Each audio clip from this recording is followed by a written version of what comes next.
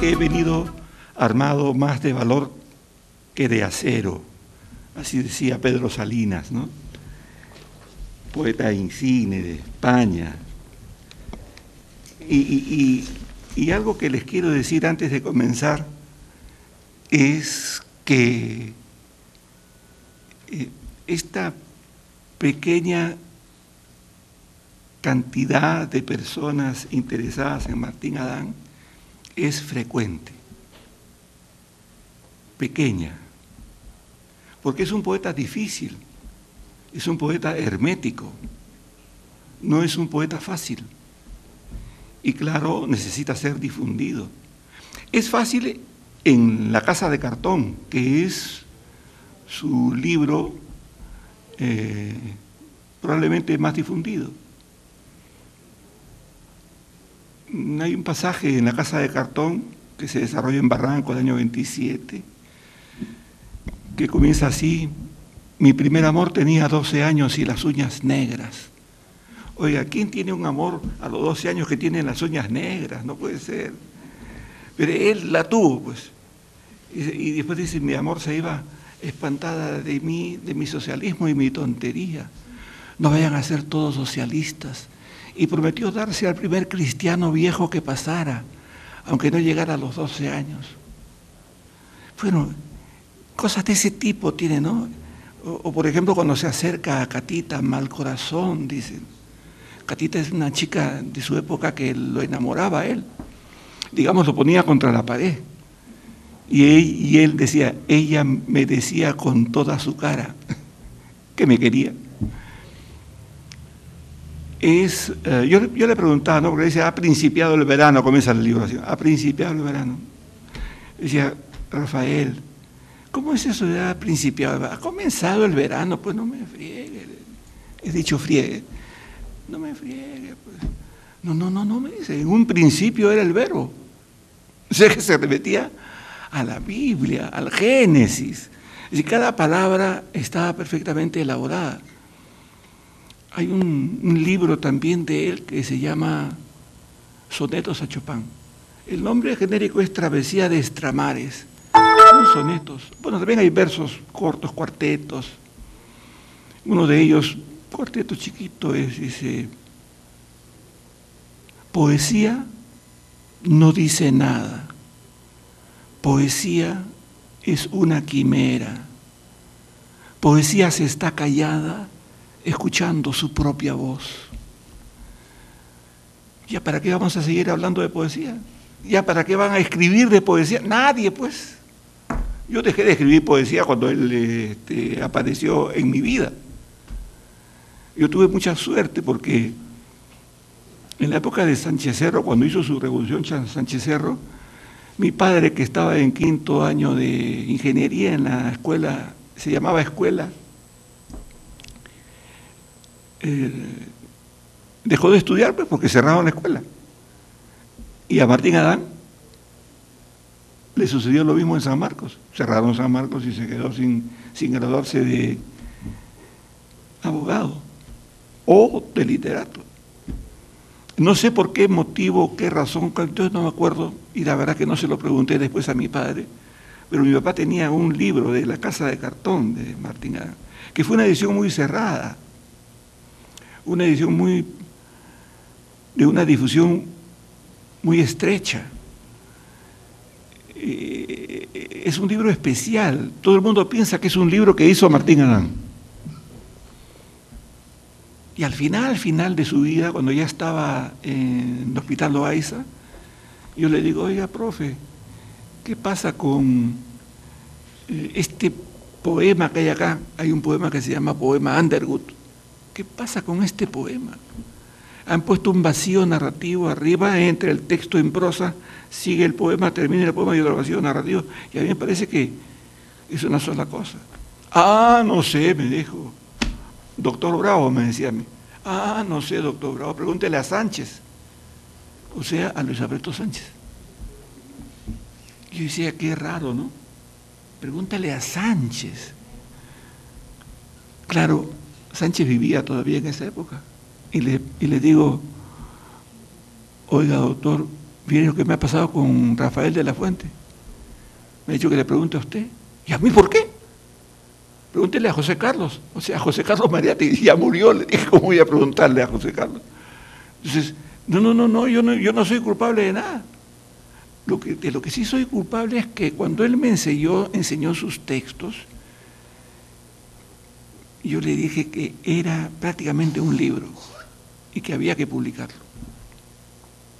Y vamos a hablar, le dije, con José Carlos Mariate, que en esa época estaba de moda, pues José Carlos Mariate. Entonces, José Carlos Mariate recibió todo el matalotaje. Dijo, sí, por supuesto. Y lo invitó a que colaborara en Amauta. A un chico de 17 años. 17 años. Y publicó en Amauta textos. Dos o tres, no me acuerdo cuántos, pero sí dos o tres. ¿Y a qué viene esto? Viene a que después, después que se murió Sánchez, que se murió Rafael, y que me, me quedé solo con mis ideas y mis papeles que están acá, y dije, bueno, ¿y qué pasó? Lo que había pasado era que yo no había enlazado, también uno tiene lagunas, ¿no? Pero, perdón, no he, no he, hablado en orden. Perdón, este, Blanca, Blanca Rey, eh, delegada del alcalde y regidora, doctor Alberto Badía, es que recién los veo. Este, buenas noches, voy a hablar de Martín Adán con su permiso. Estoy, corrigiéndome, estoy corrigiéndome. Entonces, eh, yo no sabía, porque no había hilado una cosa con la otra. Y lo que sucedía era que tenía que hablar yo con con el doctor, no les dije que, no sé a quién le conté ahora que tenía que traer mis papeles porque me olvidaba, Estuardo Núñez, que había sido compañero de colegio de Martín A. Y fui a ver al doctor Núñez y le digo, ¿qué pasa con A, B, C y D? Que no, las concilio. Le digo. Muy fácil, Pepe, me dijo. Lo que sucede es que nuestro profesor en el colegio alemán el último año de cuarto de media y quinto de media nos obligó a todos los alumnos a escribir cada fin de semana un ejercicio de redacción sobre nuestra vida cotidiana. Y todos teníamos que leer el día lunes, ¿no? delante del profesor, este documento. La casa de cartón se hizo así, así que le debemos al doctor Estuardo Núñez la razón por la cual eso terminó siendo un libro, porque eran simplemente ejercicios, ejercicios de fin de semana. Yo ahora veo a una serie de críticos de Martín Adán, y dice, ¿y tiene la novela de Martín Adán estructura? ¿Es, este, un, libro consensuado? ¿Es acaso una novela abierta? Eh, ¿Se llama novela corta? ¿Es una novela poética? ¿Es prosa poética o narrativa en verso? No, no, no, no, es un ejercicio para narrar que fueron contados. Y aquí les digo algo, qué interesante esto. Y sale el libro, pues, sale como libro. Este cúmulo de, de textos, ejercicios para narrar que fueron escritos por Martín Adán cuando era estudiante, tiene el mismo principio, aunque diferente origen, que lo que sucedió con el ingeniero Hidalgo Don Quijote de la Mancha con Cervantes. Cervantes lo que era eh, un escritor de novelas ejemplares. Él escribía solo novelas ejemplares, como este caballero habitante de esta casa que escribía solamente tradiciones. Y no escribió ninguna novela. Dice él que escribió una novela que se llamó Los Marañones. Yo le, yo le he seguido pues la pista a Los Marañones. Ah, no hay nada. Pero es que no iba a escribir pues, sobre los marañones de ninguna manera. No iba a escribir una novela si tenía garantizada su fortuna y su futuro con las tradiciones. Era tradicionista. Entonces, aquí había una interrupción. El asunto es el movimiento, ¿no? Uno tiene, tiene ojos en los oídos. Entonces, miren, la primera parte del Quijote es eso, es una sucesión de novelas ejemplares. La más preciosa de todas es la que corresponde al capítulo 12, 13 y 14, que comprende la historia de,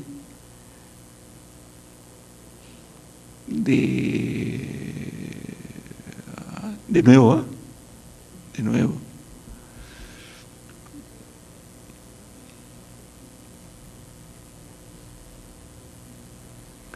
de dos jóvenes hacendados que eran vecinos.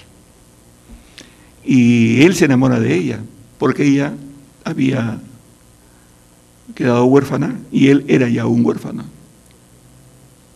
Y entonces él se enamora y hay un efecto ahí un poco raro, extraño, ¿no? Que es el que un hombre en esa época, 1500 y tantos, se enamora de una mujer y cree que esa mujer es su propiedad y nadie la puede mirar y nadie la puede ver porque es propiedad de él. Y entonces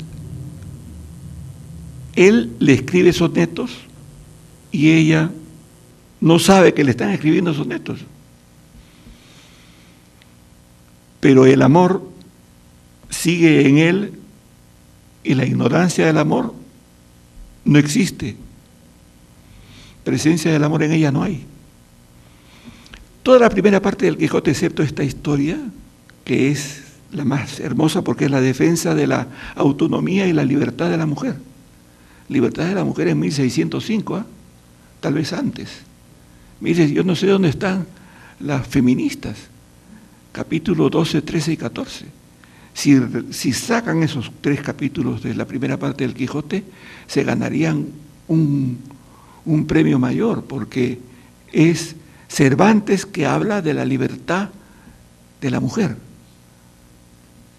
Y además con una serie de características. Bien, hay entonces en la primera parte del Quijote, leyendo bien el Quijote, 14 novelas ejemplares enlazadas por la vida de las andanzas del Quijote. Y cuando escribe la segunda parte, la escribe de puro picón, Cervantes, porque hubo un señor Fernández de Avellaneda que escribió la segunda parte del Quijote y, puso así, segunda parte del Quijote. En esa época no, no existían los plagios, el robo era permitido. Lo mejor que podía sucederle a un escritor era escribir a la manera de y si escribías a la manera de, estabas en una escuela. Y eso es lo que sucedió, sucedió con Fernández de Avellaneda. Entonces, revisando bien el Quijote, mirando bien la primera parte y mirando bien la segunda, en la segunda hay 25 novelas ejemplares también unidas por el Quijote, por las aventuras del Quijote. Cuando llega el primer tomo a la imprenta del Quijote, la primera parte, Llega pues un matalotaje como este, con unos papeles y, amarrados con pita. Y el editor, el que tiene que armar los, los textos, o sea, el armador, bueno, los arma como puede, pero era un desorden. Cuando le entregan la primera copia, recién en ese momento, lo que se llamaba prueba de galeras en esa época, recién Cervantes dice, ah, no, esto hay que arreglarlo y lo arregla. Y sale la primera parte y sale publicada como libro. Cuando aparece Fernández de Avellaneda 15 años después, o 10, o 11 años después, se, pica. Cervantes dice, me están robando mi personaje. Les aviso que el Quijote de la Mancha de Fernández de Avellaneda es tan bueno como el de Cervantes. Lo que pasa es que los cervantistas no han permitido que a lo largo de 400 años este señor Fernández de Avellaneda eh, sea considerado un gran escritor. Pero yo lo he leído, les digo desde ahora, sí es un magnífico escritor, a la altura de Cervantes. Entonces, ese inicio es casualidad, Segunda parte del Quijote, del Quijote inicio casualidad. La casa de cartón también es una casualidad. Y todo el mundo habla de la casa de cartón como una cosa integral. Y no hay que leerla así, hay que leerla como ejercicios. Es cierto que tiene un tema común, que es la vida de este jovencito barranquino a quien se le muere un hermano y que tiene una serie de acontecimientos, sobre todo los amores de, de su adolescencia, que son pues fuera de serie, ¿no?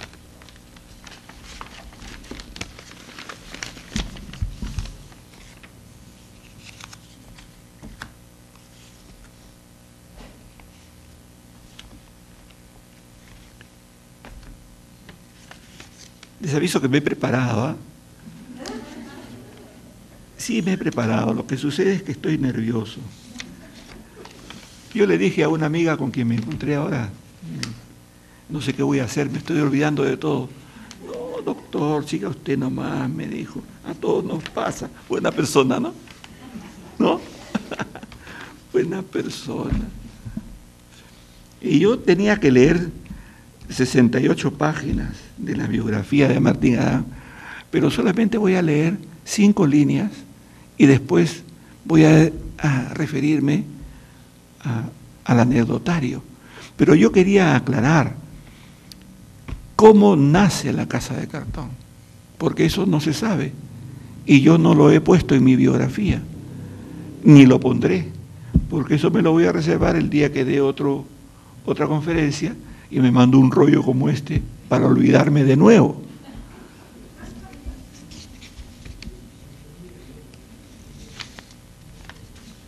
Hay pues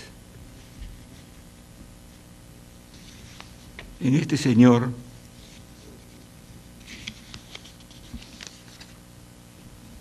algo que aclarar. Es un poeta difícil. Y por eso que viene poca gente porque no, no, escribe pues este, como un ir y venir de olas de mar, así quisiera hacer en el querer, dejar a una mujer para olvidar, volver a otra mujer. No, no, no escribe eso pues. Escribe sombra del paraíso desandado. Pucha, ¿qué es eso? Región de sombra al bar y piel herido, por donde torno del total olvido, ciego gozo, amigose, esciente y diado. Bueno, fregó. Esciente y diado. ¿Qué cosa se siente? Hay que buscar en el diccionario qué se siente, qué cosa es diado. Albar, ¿qué cosa es? Bueno, eso se llama Declamato come incoda, es un soneto que aparece en este libro que le mencioné al principio, que se titula Sonetos a Chopin, o Travesía de Estramares. Es un poeta hermético.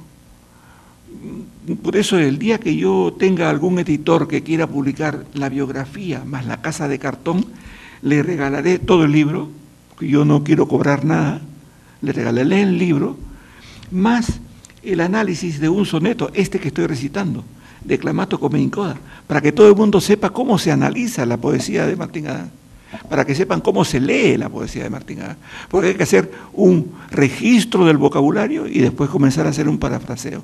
Y ahí está, en este texto pequeño, que se llama análisis estilístico a nivel semántico. Así somos los literatos, pues, de complicados, ¿no? Eh, la crítica literaria es perversa. Eh, la palabra crítica aparece porque hay crisis. Si yo leo un libro y no lo entiendo, necesito leer una crítica, pues, que el crítico me aclare. Por eso se llama crítica. Pero a veces los críticos critican tanto y tan mal que la crítica que hacen es perversa y entorpece más el entendimiento del texto literario. Pero en este caso no va a ser así. Ese estudio de Declamato Comencoda, que yo les digo que es un soneto extraordinario, es lo que se llama un arte poética. Arte poética es el poema aquel que se refiere a los mecanismos que tiene el autor para escribir un poema. Y este poema, que se llama Declamato Comencoda, es un poema que habla de el trayecto, la travesía, por eso se llama travesía de extramares, la travesía que hace el poeta a un lugar extraño, misterioso, remoto, lejano, olvidado, para entrar en el ámbito de la poesis, o sea, en el recinto de la poesía. Y allí coger la esencia de la poesía, vamos a decirlo de otra manera, los efluvios de la poesía, y salir con ellos y regresar a su vida cotidiana y hacer su poema. Un día que hablé con él, le dije, mire, ya lo descubrí, le dije. ¿Qué pasa, doctor Bravo? ¿Qué sucede? No, no le va a suceder nada. Me dijo, no, siéntese. Porque era pues, era bromista, cachaciento, cínico y además irónico. Entonces, siéntese, ¿qué pasó? Y le dije, he leído de Clamato Yo me sé el poema de memoria. Ahora ya no lo podría recitar todo porque me estoy olvidando hasta de mi nombre, pero hay cosas así, ¿no? Le, leí, le, leí con mi memoria el soneto. Usted va y viene, le digo. Y sucede que la mayor cantidad de poemas que hay en Travesía de Extramares tienen el mismo recorrido. Usted va y viene. Son casi todos textos de arte poética. Región de sombra al bar y piel herido, o sea, esa sombra, del, sombra del paraíso es el lugar donde está la poesía.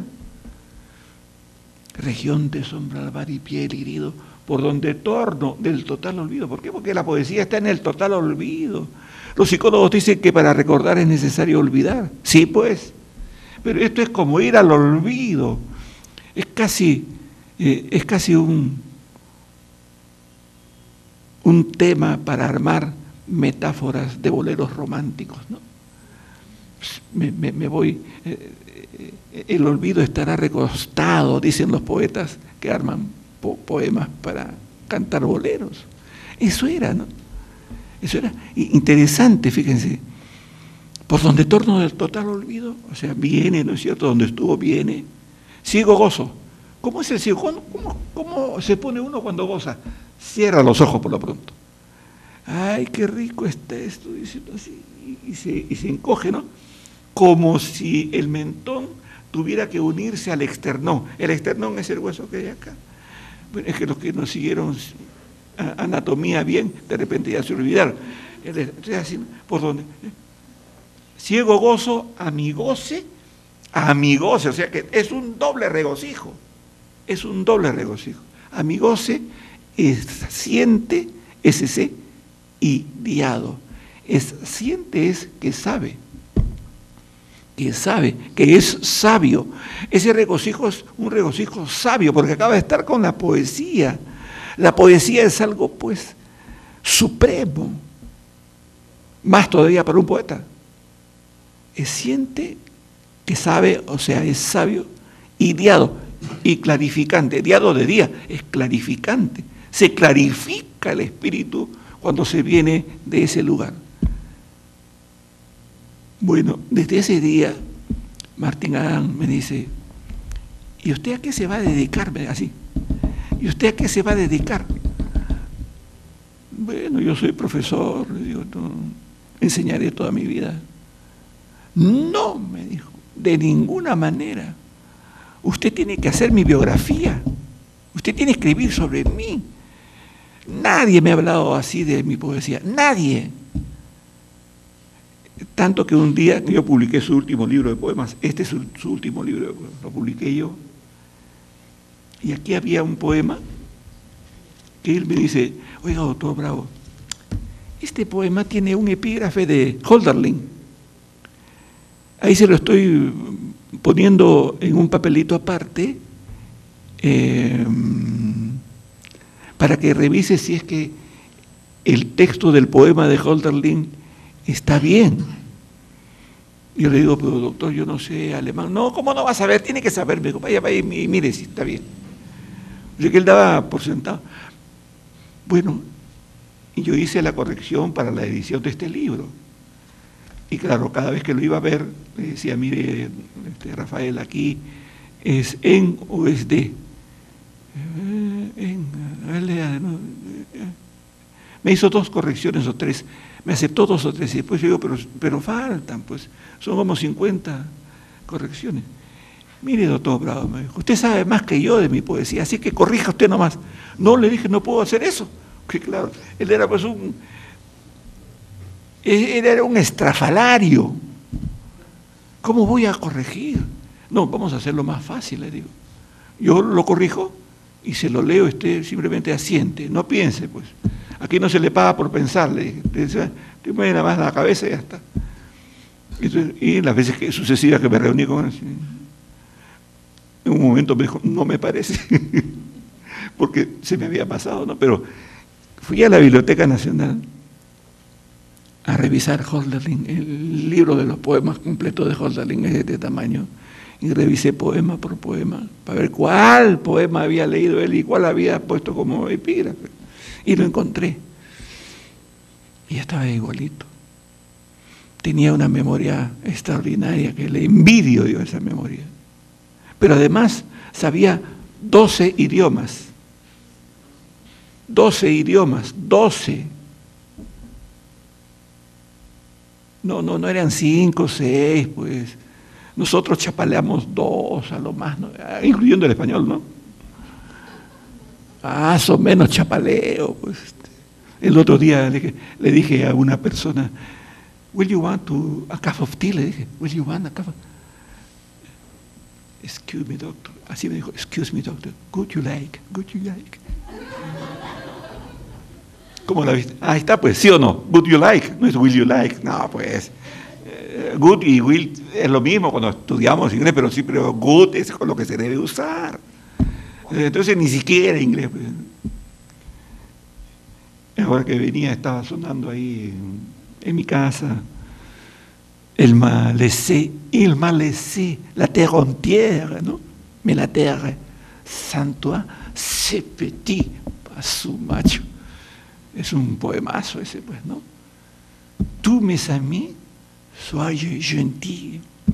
Il savait bien qu'il revient pour rien. Pucha, dije, qué bueno, qué bueno saber, es mentira. Mentira. Pero, pero es eso, ¿no? Claro, cantaba Asnabur. Así que máximo sabemos un idioma y medio. Pero él sabía doce, pues. Un día, el doctor, el doctor José Respaldiza, que era doctor graduado en San Marcos, en letras, pero además era escultor, había estudiado escultura en Bellas Artes.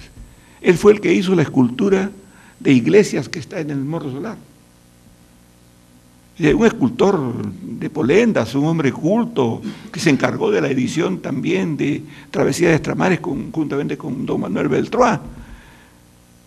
Don José Respaldiza me contó una vez, porque le dije, ya terminé mi libro sobre Matina. Ah, pero le falta una. ¿Tú me vas a contar ahora tu, tu anécdota, no? ¿O en otra oportunidad? En otra oportunidad, ¿no es? Así es son formas de marginación que disminuyen la autoestima. Entonces, entonces me dice, esta es una anécdota. Por favor, apunte usted, doctor Bravo.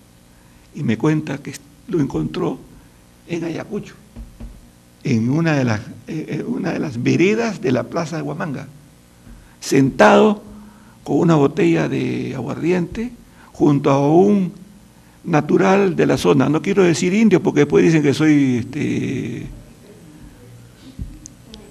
de la zona.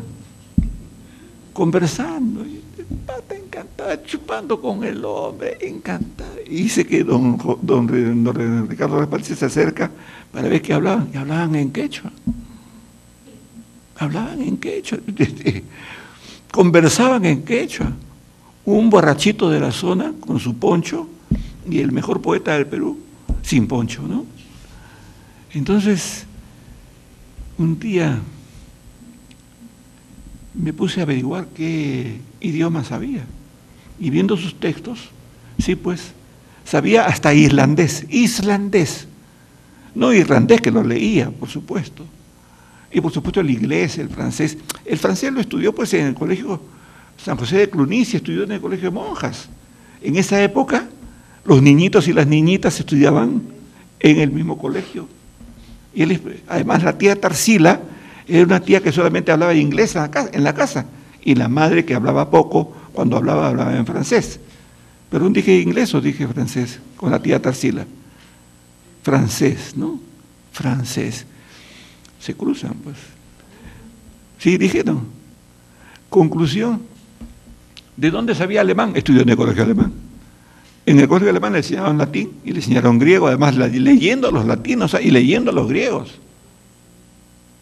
Leyendo a los latinos y a los griegos. Italiano, como Danuncio estaba de moda, compraron los poemas de Danuncio y los aprendieron en italiano. Y ahí estaba pues Emilio Adolfo Westphalen con él también. Y estaba Estuardo Núñez también. Leían en italiano, en alemán, porque habían estudiado en el colegio alemán, en francés, porque sabían francés, y no sabían francés. El que estudió en la década del 30, hacia el 40, y no sabía francés, este, no estaba en el mundo, estaba en Júpiter. Hablo de la gente culta, ¿no?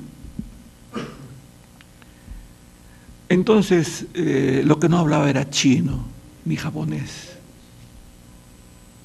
No. Pero quechua sí habló, pues. Es un idioma más. Y español, por supuesto. Portugués es votado el portugués. El rumano, votado. Entonces sí, sí habló 12 idiomas. Pero en el panorama de la literatura peruana hay dos poetas importantes. Martín Adán y Vallejo. O para decirlo también con los mismos derechos, Vallejo y Martín Adán.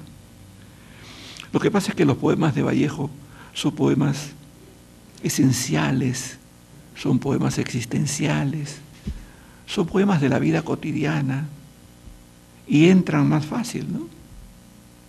En cambio los poemas de Martín Adán, como acabamos de ver, son poemas complejos. Es una poesía hermética,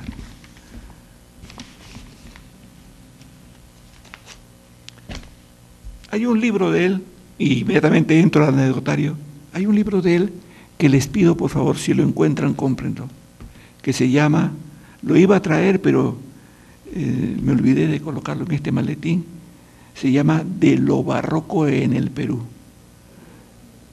De lo barroco en el Perú. Es un estudio,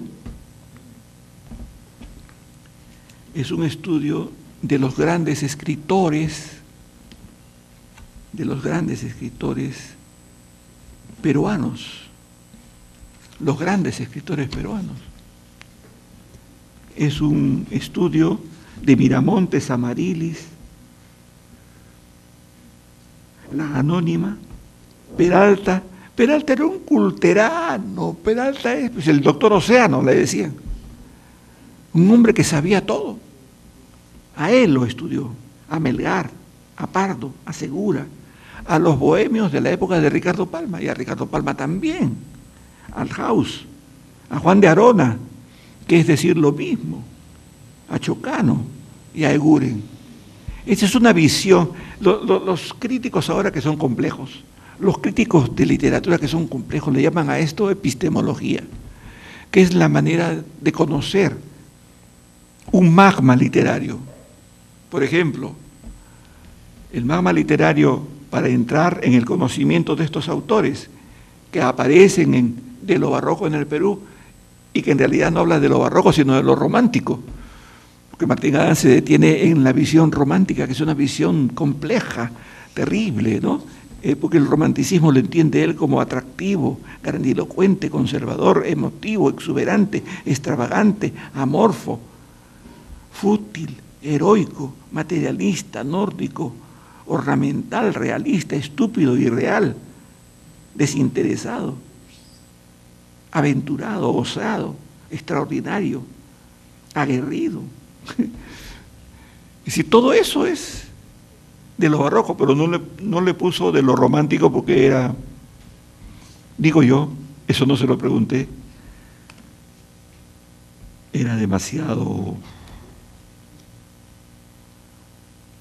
demasiado fácil, porque era un hombre que se reía de todo el mundo, Y aquí se estaba riendo de los que iban a ser sus jurados en San Marcos para sacar el doctorado en literatura. Él, como ustedes saben, vivió en el manicomio, pero no estuvo internado en el manicomio. Todo el mundo dice, ah, estaba loco, internado. No, no, no. Lo que pasa es que llegó un momento en que, en que no tenía plata porque la, casa que tenían en la colmena quedaba hasta atrás, al, corazón de Jesús, la calle que está atrás, que es la calle de los huérfanos.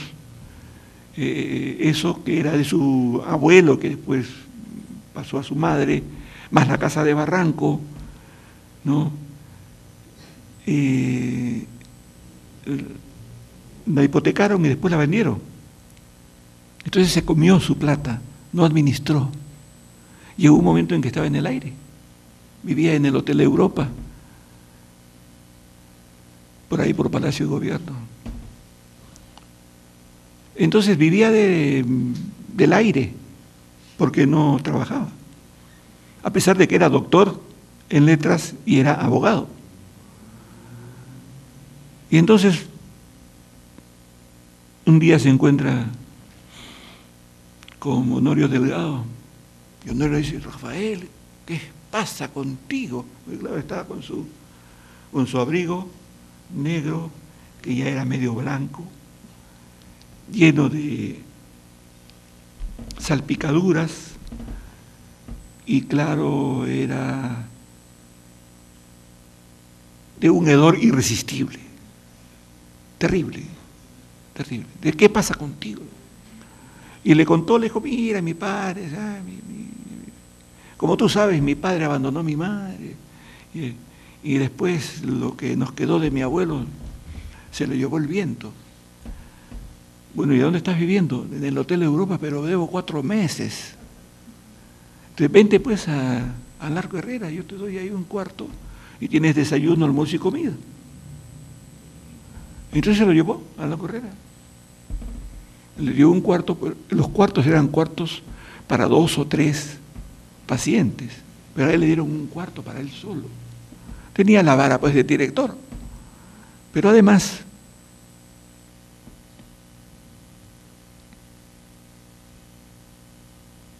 eso le permitía tener desayuno, almuerzo y comida y no tomar, porque él comenzó a tomar desde que se fue a Arequipa después del golpe de Sánchez Cerro, Malgrenú, y allá se volvió pues disómano. La conclusión de este pasaje es que con el tiempo termina en el Arco Herrera, y aquí viene la primera anécdota. Coincidió con que tenía que hacer su tesis para graduarse de doctor, ese libro que les digo que se llama De lo barroco en el Perú. Y entonces ya Honorio y los amigos, porque tenía muy buenos amigos, Basadre, Aurelio Vero Quesada, todos ellos eran sus amigos. Y cada vez que lo encontraban, lo llevaban al Hotel Bolívar, lo bañaban, lo limpiaban, le compraban su sombrerito nuevo, le ponían un terno nuevo, camisa nueva, corbata nueva, y él al día siguiente vendía el sombrero, vendía el, abrigo, vendía el terno y los zapatos, y, se volvía a poner lo cochino que, tenía. Y tiene un desastre, pues, ¿no? Entonces esa era su vida, esa era su vida. Entonces, pero había terminado la tesis, porque tenía la tranquilidad del manicomio. Qué contradicción, ¿no? Tener la contrariedad, la tranquilidad del manicomio. Había terminado su tesis. Y un día en la mañana, a las 11 de la mañana, ¿quién es? ¿Quién va? Dijo el hombre. ¿Quién va? Porque era pues cachaciento. Honorio, le dijo, Honorio, un ratito, un ratito, dos minutos. Y lo que sucedía era que él estaba sentado en la basinica, terminando sus labores literarias de la madrugada. Y entonces, en un instante, pues, terminó de, bueno, ya, y ya. Y a la hora de abrir la puerta, eso lo sé porque me lo ha contado Vela, a la hora de abrir la puerta, doctor Bravo, a la hora de la, felizmente, casi, felizmente que me acordé. ¿De qué se acordó, doctor? que ahí estaba la basinica. Entonces agarré mi tesis, mis cinco tomos de la tesis, y lo puse ahí encima.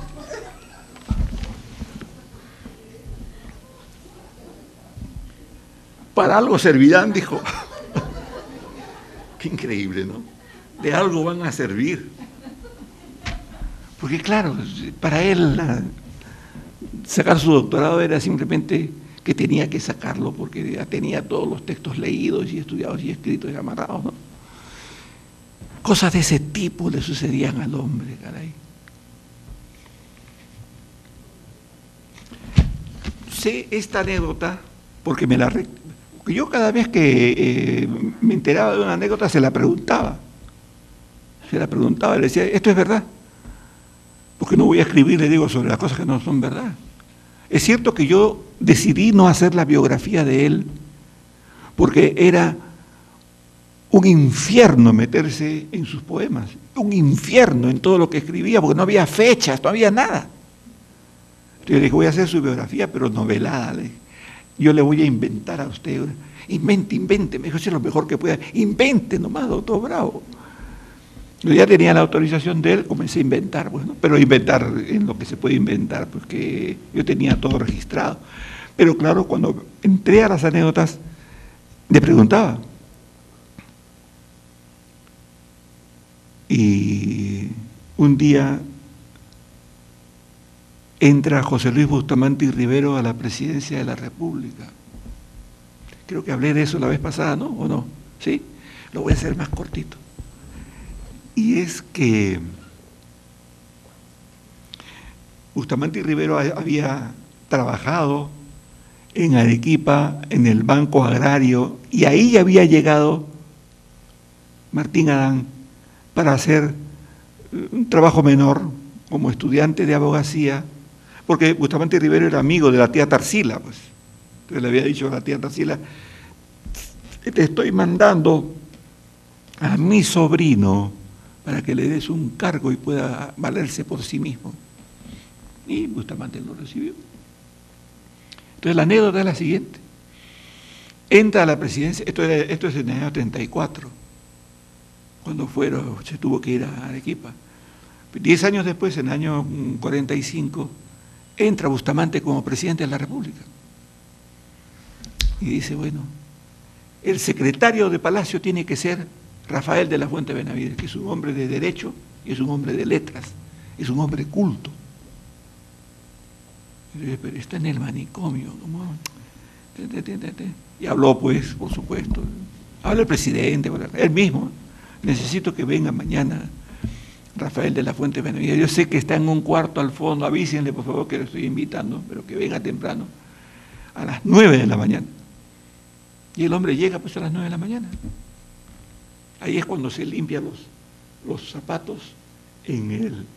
Era una costumbre sucia, antigua, de los que no se lustraban los zapatos.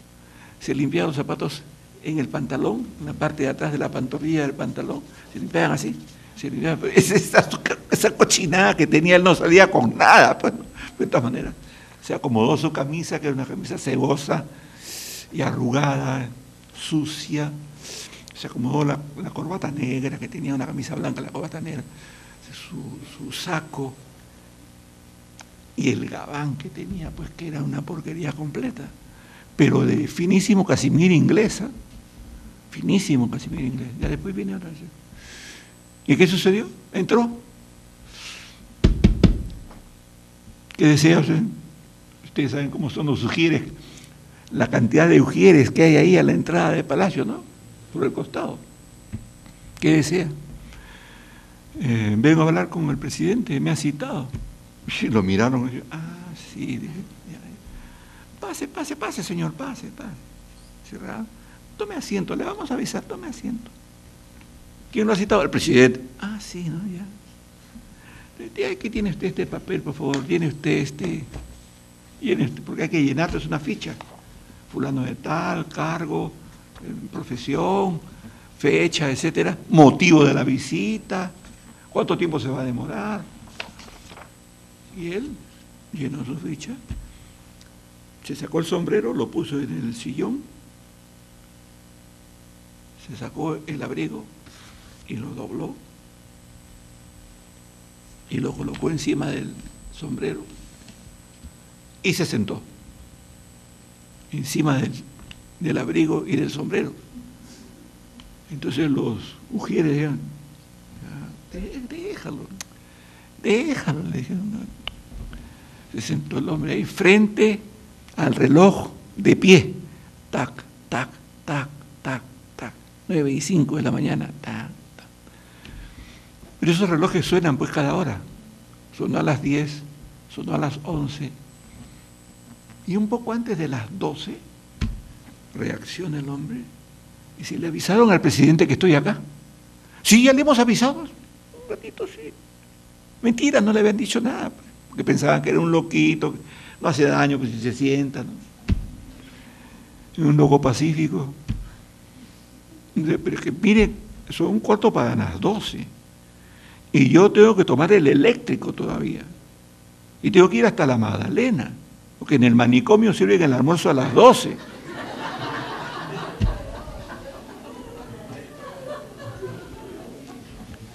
Entonces eh, se rieron, así como ustedes se han reído, y eh, calculó su tiempo y cinco minutos más dijo, ¿saben qué? Díganle a, a José Luis que Rafael de la Fuente Benavides vino a la cita, que lo he estado esperando desde las nueve y ya van a ser las doce, pero yo tengo que almorzar. Y qué lástima que no lo haya visto. Se puso su abrigo, ah, le pegó un puñetazo a su sombrero para armarlo de nuevo, se lo puso y salió. Y en la tarde, a las cinco de la tarde más o menos, van pues los sugieres a, a despachar con el presidente. ¿Qué pasó? ¿Qué hay? ¿Qué noticias? Entonces le dicen, vino un loquito, así. Dice que tenía cita con usted. Ah, bueno. Se había olvidado que tenía la cita con, con Rafael de la Fuente Benavides. Así, a ver, traiga la fecha para ¿Cómo? ¿Y por qué no me avisaron? Pero doctor, le dijeron, ¿cómo le vamos a avisar? Es un loquito que se viene se sentó, mire lo que hizo, le contaron. Pero si yo le he citado, él va a ser el futuro secretario de la presidencia. Todos se miraron así. ¿Cómo? ¿Cómo? ¿Qué? ¿Sí? En este momento llamen de nuevo al manicomio y visítenlo. En este momento. Y mañana va a ir el automóvil de la presidencia a recogerlo con dos motocicletas adelante. Y que a las nueve de la mañana va a estar acá. Así que antes de las nueve lo van a recoger. Ya no había problemas con el eléctrico, porque época el tranvía era el eléctrico. ¿no? Entonces, lo fueron a recoger en el automóvil. Y me decía, me decía Martín, doctor Bravo, ¿ha ido usted alguna vez en un automóvil presidencial? Ponía así. No sabe usted la alegría, el regocijo que desde acá le sube un regocijo enorme. Usted tiene el poder en sus manos, en su cerebro. Yo abrí las dos ventanillas para que me entrara el viento. Qué extraordinario, un experimento único. Así hablaba. Y llega pues a Palacio. Pero el, el gesto que hace no se agarra así y se veía en, la cara que revivía su regocijo. Bueno, y ya en ese momento cuando entran pues a Palacio con el carro, abren las puertas, de las rejas de, Palacio de las rejas, y entran al patio, da la vuelta así el carro y se estaciona delante de las escalinatas de la puerta principal. Y por supuesto hay un mayordomo que le abre la puerta, que debía bajar el, el chofer, pero ya había alguien ahí esperando para abrir la puerta, le abrieron la puerta. Me demoré un poquito para bajarme, dijo, porque me daba pena dejar el regocijo sentado en mi sitio. Era increíble, bajó pues el hombre, ¿no? Y ahí nomás, detrás de la puerta, ya entrando a Palacio, estaba Bustamante esperándolo. Y dijo, Rafael, bienvenido, hombre, José Luis, tan, tan, tan, tan, se abrazaron. Y pasaron al, Salón Dorado. ¿Ustedes se acuerdan del Salón Dorado? El Salón Dorado tiene unos, unos sillones de unos, de unos, no se vaya, a, a un vasito de agua. Qué bueno, gracias. ¿Doy unas galletitas por ahí? No, no, no, no, no, no, no. no. Entonces, Lo voy a poner aquí porque después lo voto si muevo las manos demasiado. Gracias, ¿eh? me, hace, me hacía falta. Entonces, ¿qué pasó? Esos sillones son sillones que se llaman turcos, creo, ¿no? Son sillones turcos que, tienen, que son para cinco personas y tienen unos respaldares medio ondulados y, y, los, eh, los, brazos son eh, eh, almohadillados, ¿no? Pero claro, yo sí podría llegar ahí porque soy un poco alto. Levanto la mano, el brazo y me pongo así. Pero él era bajito, pues, entonces hizo todo lo posible por llegar. Llegó con la justa, se agarró un poquito, cruzó la pierna, cruzó la pierna, ahí estaba el presidente de la República, dijo, José Luis, así, con la justa, sosteniéndose con la justa, ¿en qué lo puedo servir? Le dijo. Entonces, en la anécdota que yo había recogido, aparecía el mismo gesto que en la conserjería, que se sacaba el sombrero, volteaba el abrigo, lo ponía y se sentaba encima del abrigo y del sombrero. Y eso en el Salón Dorado. Y cuando le pregunté, ¿usted se sacó el sombrero? ¿Lo puso? En... No creo, me dijo, porque yo me senté en el sillón. Yo no creo haberme sentado. No, no, no creo. Pero ya me entró la duda. ¿Por qué no le pregunta a José Luis? Es como si yo pudiera ir a, ver a José Luis. Le toco a la puerta a José Luis. Oiga, presidente. La suerte que yo tuve es que unos años atrás yo había ido a estudiar inglés. Yo estudié inglés 16 veces y 16 veces lo olvidé. A Inglaterra. Eh, ¿Y qué sucedió? Un día que estaba caminando por Old Brompton, Old Brompton, ahí está mi sobrina, ¿sí? Old Brompton, yes, yeah. Que mi sobrina es este, mitad inglesa, mitad peruana. Entonces, eh, y de repente veo que viene José Luis Bustamante y Rivero. Yo lo, lo detuve en la vereda, pues, doctor Bustamante, así, peruano me dijo, sí, doctor, le digo, perdone que lo detenga, pero quiero saludarlo nada más y no le quito su tiempo. No, no, no, no, me dijo, mucho gusto, ¿con quién estoy hablando? Ah, no, ¿con quién tengo el gusto? Yo soy José Antonio Bravo. Like that, me dijo. Sí, no me voy a olvidar, me dijo. Me, contó que, venía de La Haya, en esa época él era presidente de La Haya, la Corte de La Haya, estaba ahí viendo no sé qué cosa con, Costa Rica, un problema, un problema en Centroamérica, y había pasado por Londres para irse, no sé, no sé quién era el embajador en esa época, y ya está, iba a ir a almorzar. Y entonces, cuando Martín Adán me dice, pregúntele a José Luis. eso ya lo dejo así. Pondré una nota a pie de página y diré, esto no lo he podido confirmar. Y me preguntó que fuera, que me dijo que fuera a ver a José Luis justamente, pues es un imposible, y hasta una nota aclaratoria. Pero para esa época, eso era el año 80, 80 82, 81, probablemente 81, acababa de entrar Belaúnde, ¿está bien 81? en la constitución es de 79. 80 fue las elecciones. 81. 81, ¿no?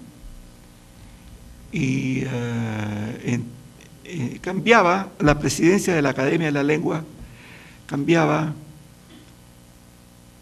aquí está el doctor Varillas que me puede corregir, corríjame doctor, por favor, esa es oportunidad, la única que le queda en su vida salía José Jiménez y entraba Tamayo.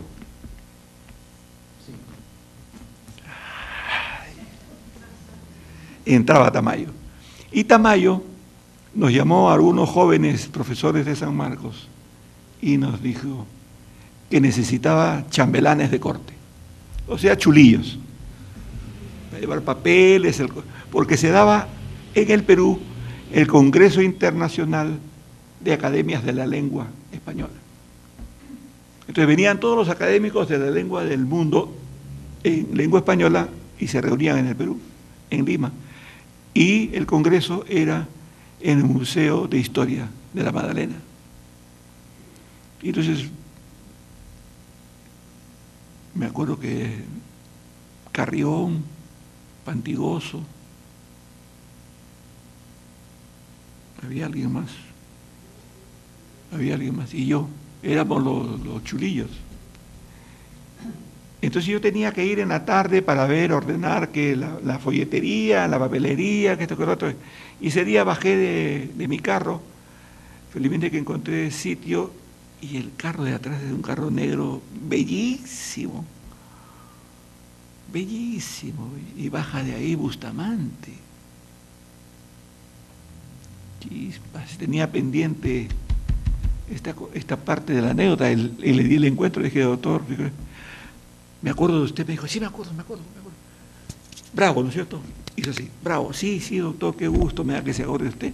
Se acordaba porque iba a pedir bravo, igual que los aplausos. Entonces, entonces, ah, que está usted acá en la nueve. Y le conté que era un chulillo y que. Ah, bueno, sé que lo voy a ver. Sí, doctor, pero mire, aprovecho para decirle rápidamente. Ta, ta, ta, ta, ta, le conté la anécdota. Sí, me acuerdo, sí fue, me dijo, sí.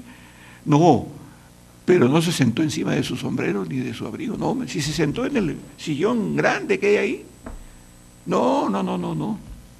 Eso me dio a mí la posibilidad de corregir, porque yo corregía todo lo que podía, porque no siempre las anécdotas vienen vírgenes, sino vienen aprovechadas, efímeras, volátiles y dispersas.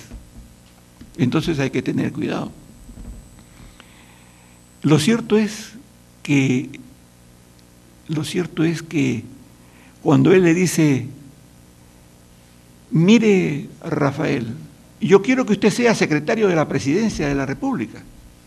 Y aquí le vamos a dar, en un ala de la presidencia, vamos a darle unas habitaciones para que usted tenga su estudio, su biblioteca, su dormitorio, sus baños, y para que le, compramos una máquina nueva, le vamos a poner una secretaria para que le pase sus papeles y vamos a editar toda su obra.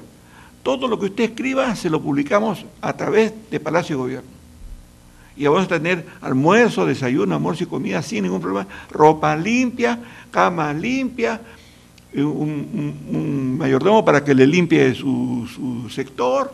Y cuando usted tenga tiempo, así le dijo, cuando usted tenga tiempo, puede almorzar conmigo, el presidente de la República, cuando usted tenga tiempo, puede almorzar conmigo si quiere y algún día podemos conversar sobre problemas de Estado, si usted quiere. Es decir, el paraíso, ¿no es cierto? El paraíso. Entonces cruzó de nuevo la pierna para acá, cruzó la otra pierna para allá. Y lo quedó mirando así con los brazos cruzados. Oiga, José Luis, eso es como pedirle a Belmonte que regrese al ruedo. Se levantó, se puso su abrigo, su sombrero y se fue. No, increíble, increíble. Ese tipo de cosas hacía el hombre, pues, ¿no? ¿Cómo no me dieron eso a mí? Tengo siete libros inéditos, dos novelas inéditas. ¡Ah! a mí me dicen el inédito. Eh, esto sí lo logré eh, confirmar con Guillermo Thornberry, padre, no el hijo, Willy, sino el padre que estudió uno de los cursos que debió complementar después eh, Martín Adán para sacar su título de, abogado. E, él estuvo en la clase que dictaba José Antonio Lavalle, el abogado, que no sé, no interesa, no lo averigüé porque no interesa, era simplemente un catedrático de Derecho romano, me parece, en, San Marcos, que era un hombre muy atildado y en esa época, digamos, los que se atildaban en el Perú se atildaban porque habían ido a Buenos Aires, no porque hubieran estado en España o en Francia, sino en Buenos Aires, porque en Buenos Aires eran pues este, bien compadritos, ¿no? Con la corbata bien colocada. Me costó trabajo elegir esta corbata hoy día. Eh, bien colocada la corbata, los zapatos aperillados, etc. compadritos, pues, ¿no? Y entonces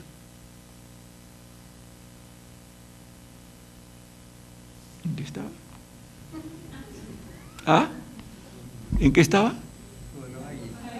Sí, aquí está la valle. Claro, anécdota de la valle. Pero ¿se acuerdan de quién me, contó esto?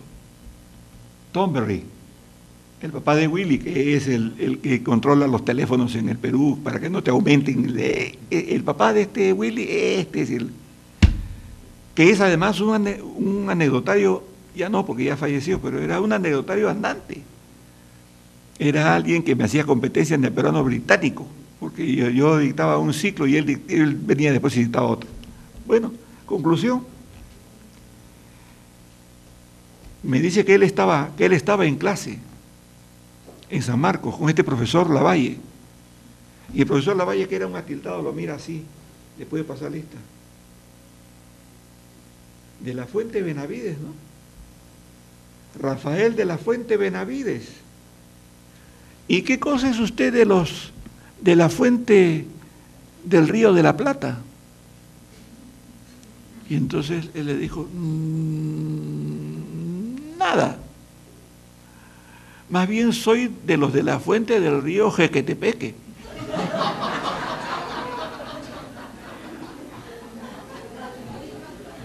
¿De dónde era María Cristina? ¿De dónde era María Cristina? De Pacasmayo. La familia de Martín Adán era de Pacasmayo, pues. Y ahí pasa el Jequetepeque.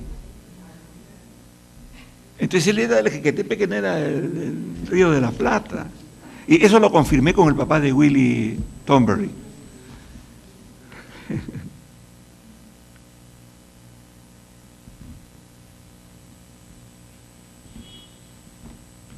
cuando Odría dio el golpe militar el 27 de octubre de 1948. Él estaba en el café Cela, en la Plaza San Martín. El café Cela de la Plaza San Martín queda en el portal San Martín, entre Carabaya y el Girón de la Unión, más cerca de Carabaya. Estaba sentado ahí. E-, era el lugar donde iban todos los periodistas de entonces. Los periodistas se amanecían porque es un bar que hasta ahora no cierra en la noche. Y estaba él ahí, y entonces los periodistas que se enteraron del golpe militar del 48. Y el segundo golpe militar que tenía en su vida él, porque el primero fue el de Sánchez Cerro y el segundo es el de Odría. Se le acercan a su mesa y le dicen, poeta, ¿Qué puede opinar usted acerca del golpe militar que ha dado el general Odría en Arequipa?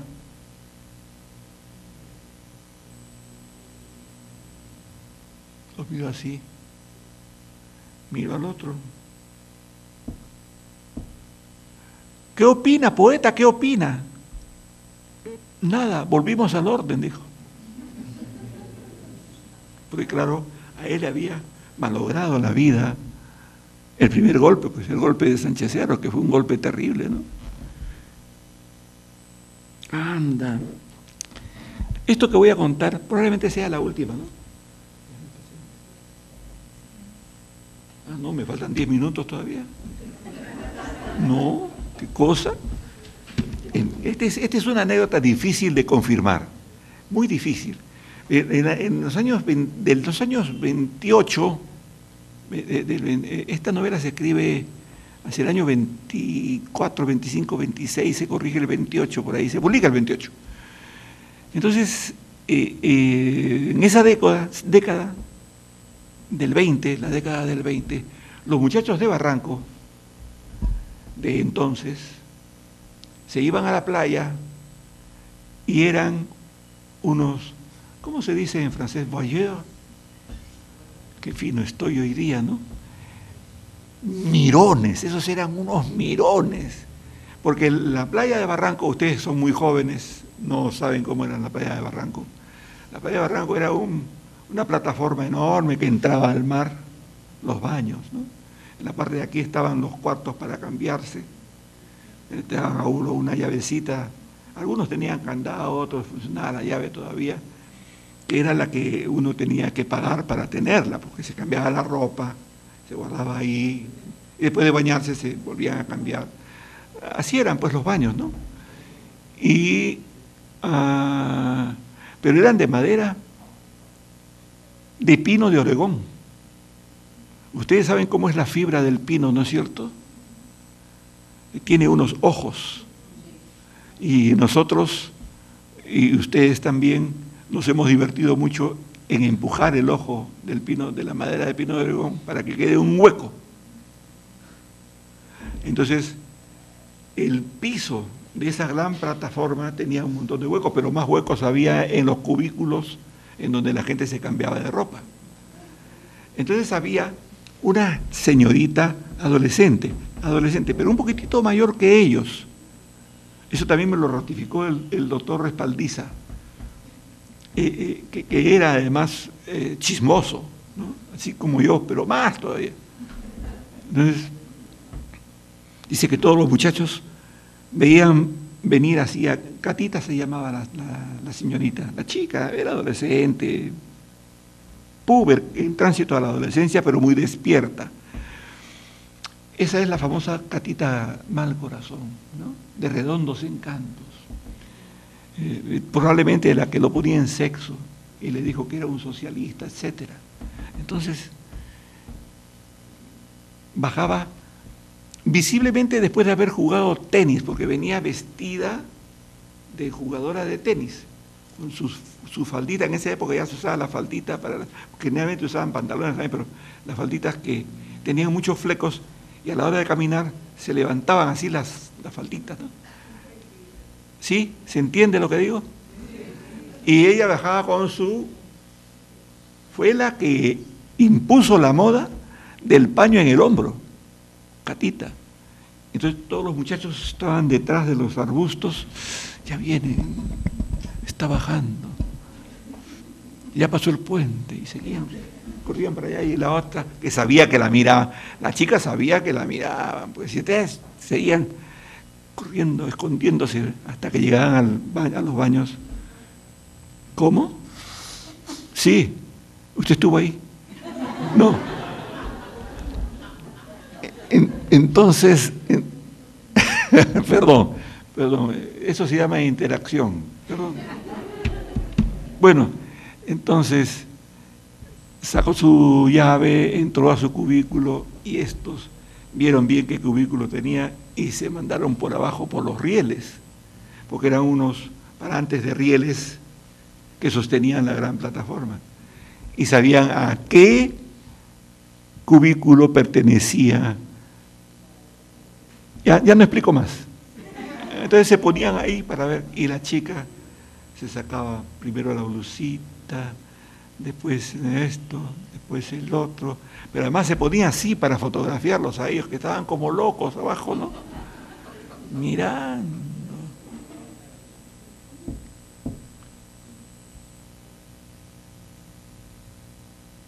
¿Quién es? A mí me han preguntado mil veces quién es, yo no sé. No he podido averiguar quién era. Respaldiza me dijo una vez, pero me olvidé. Pero lo cierto es que eso sucedió. Y eso sucedió, digamos, muchas veces a lo largo de los veranos, hasta que comenzaron a cambiar las cosas. Qué bien que me ha frenado, ¿no? ¿Qué les pareció el freno ese? Un freno muy bueno. Cuando mm, me di cuenta que él iba a esta región de sombra al bar y piel herido y retornaba, y le dije que esa era un arte poética, yo le dijo, yo le dije, oiga Rafael, y cuando usted viene y la escribe, porque usted escribe eso que ha visto allá en, en la sombra del paraíso, dice, bueno, ¿qué siente? me dice, siento algo que sienten muy pocas personas en la tierra. Siento que profano a la poesía. Eso es de poeta. Eso es de poeta. Escribir la poesía es profanarla, me dijo. Lo cual echa al, al suelo la creación de todos los poetas del mundo. Porque uno se debe quedar solamente con el acto de ir hasta ese lugar y quedarse con esa sensación de regocijo suprema.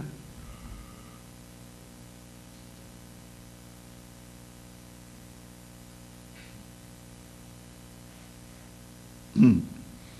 En los últimos años de su vida, antes de ir a los hospitales para que lo operaran, etcétera, estuvo en otra clínica que quedaba en una transversal de la Avenida Brasil. Estuvo en otra clínica. En esa oportunidad nos, pusimos de acuerdo Sonda y Guillermo Sonda, que en paz descanse, y yo. Eh, Sonda ya era director de la República y yo era director en esa época del periódico Correo. Y le digo, Guillermo, ¿por qué no lo contratamos los dos? Para que colabore contigo y colabore conmigo. Lo inscribimos en el Seguro Social para que le paguen el, eh, digamos, el alojamiento en la clínica y le den sus remedios. Ya me dijo, perfecto. Yo lo pude, yo lo pude hacer más rápido porque el dueño de correo era muy amigo mío y lo sigue siendo hasta ahora, Luchito hoy. Entonces, no, me dijo inmediatamente, solamente que llene esta ficha de, del seguro y, que firme, ya está. Hasta carnet le dimos a, a Martín colaborador y entonces eso permitió que entrara a esta nueva clínica. Y en esa nueva clínica había un joven poeta. Es que estaba hablando acá, no se escucha, pues. Debe ser así, así tiene que ser. Había un joven poeta que se llamaba Pedro Gori, que presentó aquí su primer libro de poemas ahorita no me acuerdo, pero Pedro Gori era un chico, poesía de emergencia se llamaba su libro, buen poeta, pero había entrado en dificultades y su familia y, él estaba de acuerdo, eh, decidieron que se fuera a esta clínica. Y se encontró con que también llegó ahí Martín Adán entonces le dice a Martín Arangori, que era además un tipo muy, digo era, supongo que seguirá siendo hasta ahora, no sé nada de su vida, que era para entonces, qué bien estoy hablando, eh, un magnífico lector y también conocía de lenguas. Entonces tuvo buena comunicación con Martín Adán en la clínica y le dijo, ¿y por qué no hacemos un, un periódico mural, le dijo Gori, Pedro Gori. Y Rafael le contestó que sí. Me parece bien, así todos podrían leer su periódico mural. Entonces se puso de acuerdo con todos y Gori les dijo a todos, pero el director del periódico tendría que ser pues don Rafael de la Fuente Benavides, que es el mejor poeta del Perú. Entonces todos estuvieron de acuerdo. De tal manera que se hizo la vitrina para el... Ya dentro de cinco minutos termino, señor. Cinco minutos. Y así fue. Se pusieron de acuerdo y entonces va una comisión a darle el encuentro a su cuarto. y hemos decidido que usted sea el director de nuestro periódico mural. Entonces Martín Edán estaba en su silla, un sillón, ¿no? No, no, no tan fino y sólido como este, sino un poquito más. Eso sí.